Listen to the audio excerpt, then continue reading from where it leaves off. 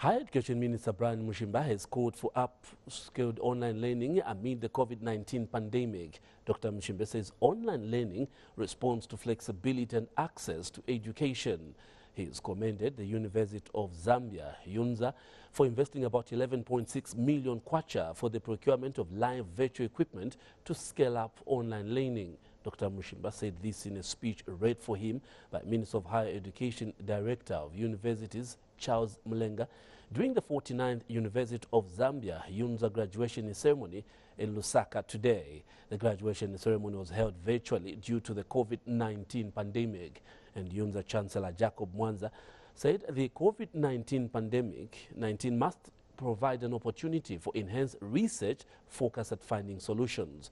Meanwhile, UNZA Vice Chancellor Luke Mumba challenged graduates to turn their achievements into commercial ideas and contribute to national development. On a process by law. So the Chancellor's procession is now just entering. The emergence of the COVID-19 pandemic has heightened cause for all higher learning institutions to put in place mechanisms that respond innovatively to effective and efficient provision of educational services.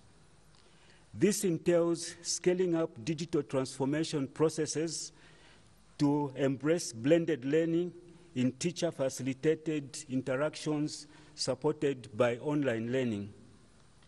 I therefore would like to urge the University of Zambia management to upscale course delivery systems.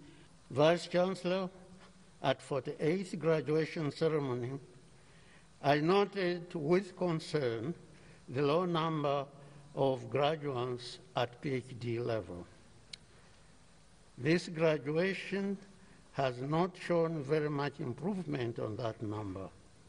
I therefore appeal to the Vice Chancellor and the university community to direct a lot of effort in coming years on, uh, on postgraduate training.